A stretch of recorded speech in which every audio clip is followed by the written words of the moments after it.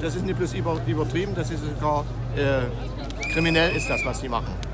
Ähm, es gibt nicht aus meiner Sicht äh, eine äh, übermäßige Gefährdung und schon gar nicht so eine große, wie äh, die Regierung uns ähm, vermittelt.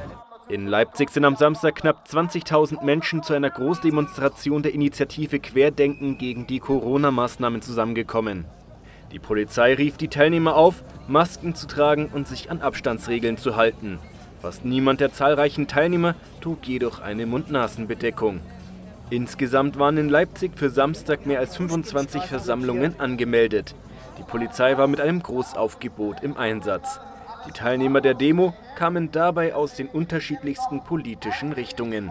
Ja, also wir haben tatsächlich ein breites Spektrum aus der bürgerlichen Mitte, die aus verschiedenen persönlichen Beweggründen heraus gegen die aktuellen Corona-Schutzmaßnahmen der Regierung protestieren wollen. Wir sind im Bereich der äh, Reichsbürger gibt's unterwegs, wir haben Rechtsextremisten darunter, auch äh, bestimmte Parteien haben beworben und im Gegenprotest erwarten wir auch ein breites bürgerliches Spektrum. Äh, Leipzig ist erfahrungsgemäß da sehr stark, um gegen Rassismus äh, zu protestieren. Äh, und gleichzeitig gibt es trotzdem Hinweise, dass auch radikale Kräfte dabei sind.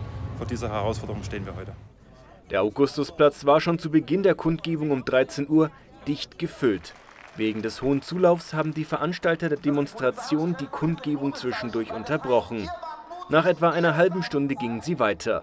Die Polizei hatte die Versammlungsfläche zuvor deutlich vergrößert. Nach zahlreichen Verstößen gegen die Versammlungsauflagen hat die Stadt Leipzig die Querdenken-Demo am Nachmittag wieder aufgelöst.